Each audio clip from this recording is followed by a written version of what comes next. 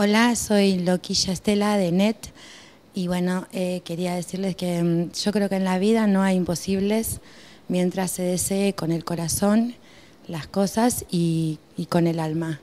Eh, todos los sueños pueden ser realidad. Yo creo que no hay imposible. ¿Y vos?